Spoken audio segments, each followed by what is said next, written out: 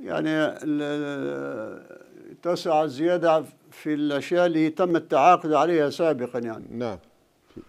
هكذا إيه، فهذا يعني إيه نعم.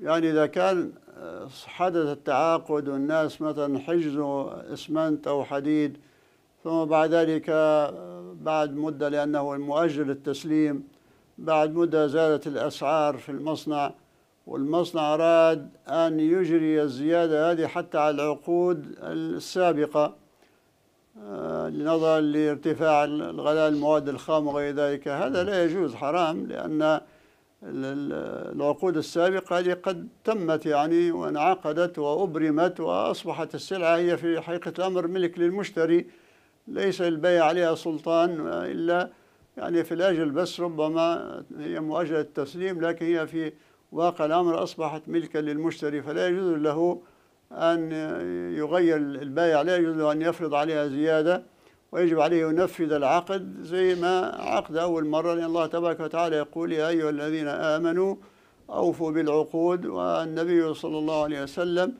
يقول كما في صحيح الحديث من حديث عبد الله بن عباس المسلمون على شروطهم. أخرجه البخاري فما دام هناك شرط وهناك عقد فلا بد أن ينفذ على الصور التي تم عليها التعاقد ولا يجوز زيادة. أما يعني ما يحدث بعد ذلك من عقود جديدة فالمصنع بعد ذلك أن يزيد أو يتصرف في السلعة كما يريد.